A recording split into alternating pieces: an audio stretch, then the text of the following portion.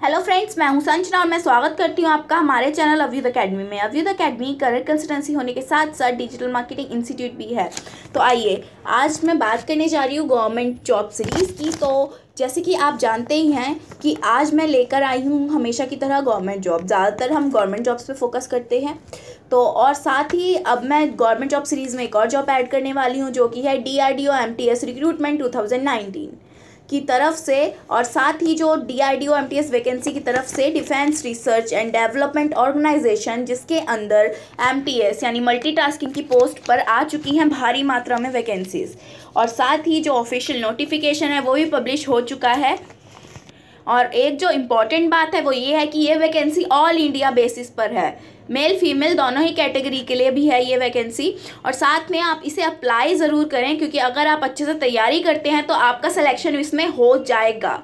और साथ ही M T S two thousand nineteen vacancy की जो टोटल वैकेंसीज़ हैं वो हैं अठारह सौ सत्रह जो कि काफ़ी ज़्यादा मात्रा में अगर मैं प्रीवियस वैकेंसी की बात करूँ तो यहाँ पर तो साथ ही नोटिफिकेशन में ये भी बताया गया है कि किस किस आ, कैटेगरी के लिए कितनी वैकेंसीज निकाली गई हैं तो यहाँ पे एससी के लिए 163, एसटी के लिए 114, ओबीसी के लिए 503 और साथ में E W S one eighty eight U R के लिए 849 तो टोटल 1817 यानी कि 1817 वैकेंसी निकाली गई है। तो चलिए, अब मैं आपको एक इंपॉर्टेंट चीज़ बताने जा रही हूँ। तो एप्लीकेशन फिल करने की जो स्टार्टिंग डेट है, वो तेईस दिसंबर है। तो तेईस दिसंबर से आप ऑनलाइन अप्लाई कर पाएँगे इस जॉब को, क्योंकि अभी तक सिर्फ़ नोटिफिकेशन आया है, तब लिंक भी ओपन हो जाएँगे। और साथ ही जो लास्ट डेट है अप्लाई करने की ऑनलाइन एप्लीकेशन वो ट्वेंटी जनवरी टू है।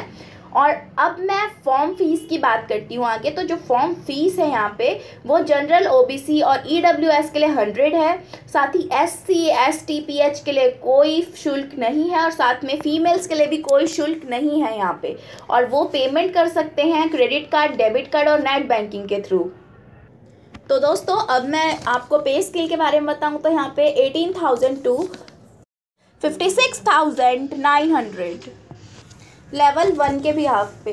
तो आइए, अब मैं आगे बात करने जा रही हूँ एज लिमिट की। तो जो है यहाँ पे जनरल कैटेगरी के लिए एटीन मिनिमम और मैक्सिमम ट्वेंटी फाइव ईयर्स दी गई है। और एज जो कैलकुलेट होगी वो ट्वेंटी थर्ड जनवरी टू थाउज़ेंड ट्वेंटी तक होगी। तो दोस्तों, आपने अपनी एज के एटीन ईयर्स कंप्लीट कर लिए हैं तो आप ट्वेंटी थर्ड तक ट्वेंटी तो ही आप इसको फिल कर सकते हैं। साथ ही एस सी को यहाँ पे फाइव ईयर्स की छूट दी जाएगी और साथ में ओबीसी को थ्री ईयर्स की।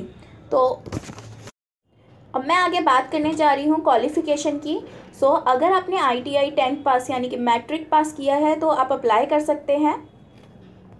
और ज़्यादातर सभी ने टेंथ पास तो की होती है तो आप लोग अप्लाई कर सकते हैं इस जॉब के लिए। और साथ में जो सिलेक्शन प्रोसेस है, वो दो टू स्टेज पे होगा, एक तो टायर वन और दूसरा टायर टू इसमें आपका सी बी टी यानी कि ऑनलाइन टेस्ट होगा। सो so फ्रेंड्स अब आप इस जॉब के बारे में तो जान ही गए हैं।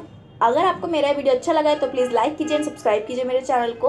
और नोटिफिकेशन का लिंक और अप्लाई करने का लिंक भी मेरी वीडियो के डिस्क्रिप्शन में दे रखा है। और जैसे ही ये लिंक वैलिड होगा तो आपको ये मेरी वीडियो के डिस्क्रिप्शन में मिल जाएगा। अगर आपको मेरा वीडियो अच्छा लगा है तो प्लीज़ लाइक कीजिए।